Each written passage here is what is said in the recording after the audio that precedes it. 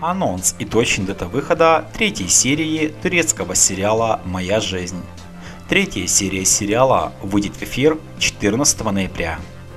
Напомним, ранее в сериале мы увидели, как на ужине Елмаз заявил, что в этой семье только он может решать, кто на ком будет жениться и в кого влюбляться.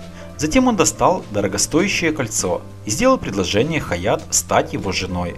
Все были шокированы, но большим ударом стало то, что Хаят приняла предложение Елмаза. Но сначала он должен развестись со своей женой и выставить ее за дверь, оставив немного денег. Океш сказал Елмазу, что он его прикончит и не позволит жить дальше. Океш узнает о том, что Хандан жива, и он не знает, чему, что ему делать в такой ситуации.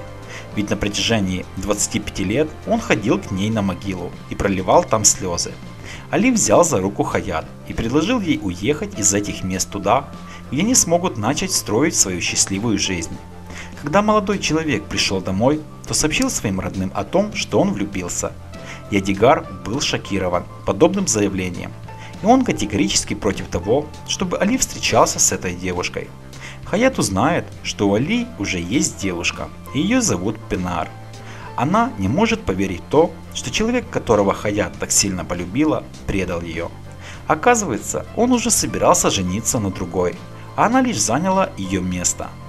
Напомним, третья серия сериала выйдет в эфир 14 ноября.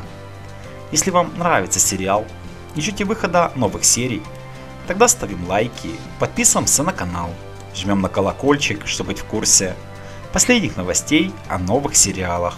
Спасибо за подписку и лайки.